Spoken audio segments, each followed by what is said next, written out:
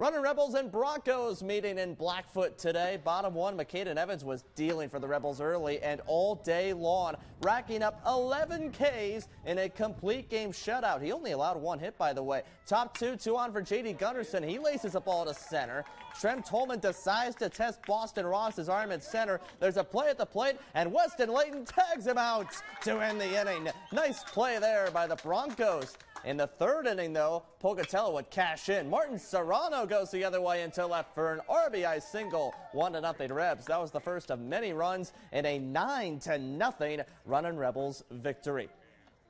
The Idaho Falls Spud Kings have their first skater, and it's an experienced USPHL centerman and former Ogden Mustang Stanford Zito. Zito played the last two seasons in Ogden, recording 13 points and scoring four goals for the Mustangs. On Zito, Spud Kings head coach Josh Hoff says he expects Zito to play a 200-foot game and be a force to play against in all three zones.